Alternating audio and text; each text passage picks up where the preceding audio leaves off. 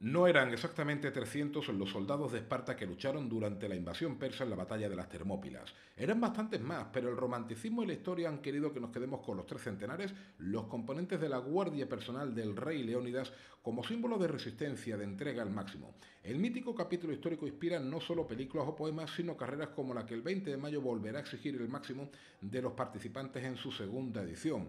Ocurrirá lo mismo que con la legendaria batalla en nombre de 300, pero en la realidad muchos más justo el doble.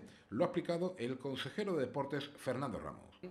Es una carrera, como ya sabéis, eh, de obstáculos tipo Spartan Race.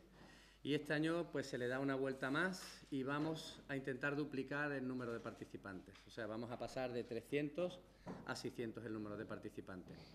Es una carrera que también se aumenta el número de obstáculos, también mm, se aumenta el recorrido, pasamos de 8 a unos 12 kilómetros aproximadamente y bueno, se pone en valor también eh, lo que mm, desde regulares los, valores como el ejército nos tiene acostumbrados a, desarrollar.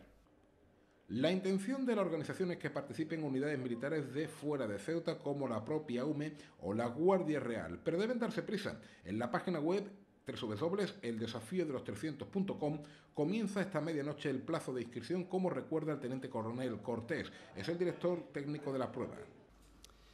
La inscripción comenzará mañana, esta noche, a partir de las 12 y un minuto estará, estará, abierta, estará abierta la inscripción. Eh, en la página web que aparece, que apareció en el inicio de la presentación y que va a aparecer ahora al final de la presentación.